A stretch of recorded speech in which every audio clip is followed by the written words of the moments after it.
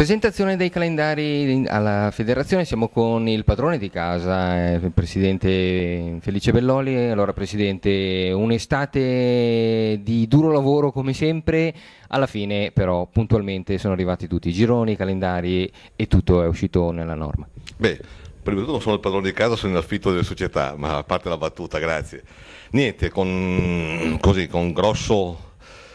grossi problemi perché come ben sapete al 6 di agosto abbiamo avuto calendari già fatti quasi stampa, abbiamo dovuto cambiare 14 gironi nelle varie categorie a causa della rinuncia di società di eccellenza che tutti ormai siete al corrente. No?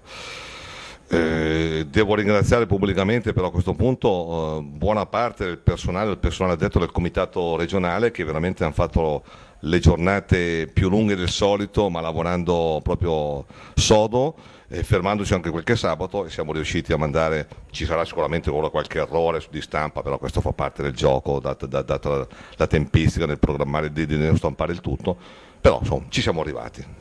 C'è stata anche la novità del eh, Giovane in più, eh, quest'anno in pieno accordo con le società. Ma diciamo che mh, mm, poi lo dirò in questa riunione con tutti gli organi di stampa,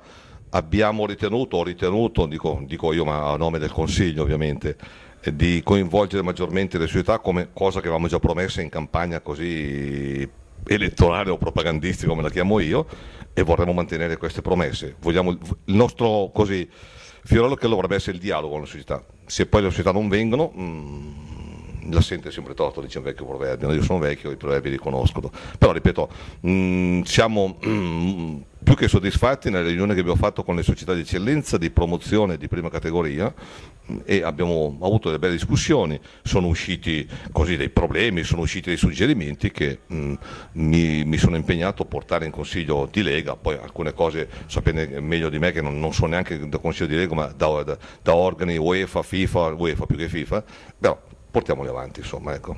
C'è una cosa che si augura che quest'anno succeda o e una cosa anche che non si augura che succeda. Ma quello che non mi auguro è che non sia il brutto tempo come l'anno scorso perché quest'anno grazie poi agli arbitri, grazie al comitato, ai collaboratori, soprattutto al signor Baretti, al mio vicepresidente che fa le notti, per, per, siamo riusciti a portare a termine, come sapete, i campionati nei, nei, nei tempi, nella tempistica giusta, soprattutto per mandare o per segnalare a Roma le società vincitrici, parlo di eccellenza, per la Coppa Italia, per la, poi la Coppa Lombardia.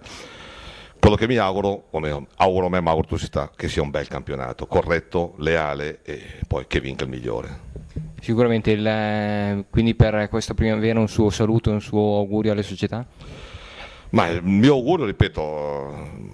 che sia un bel campionato, corretto eh, perché ancora ieri sera ero all'inaugurazione del torneo Scirea e c'erano delle società, ero col sindaco di Cinisello, mi dicevano le società si lamentano per troppe multe, io ho detto ma io vorrei non darne di multe, vorrei, però il regolamento è quello, che le società si comportino correttamente, soprattutto gli atleti e anche i tifosi, che non ci divertiamo a darne multe. Ripeto, io l'augurio veramente è solo ripetitivo, che mi auguro, che auguro società, visto che sono anch'io delle società perché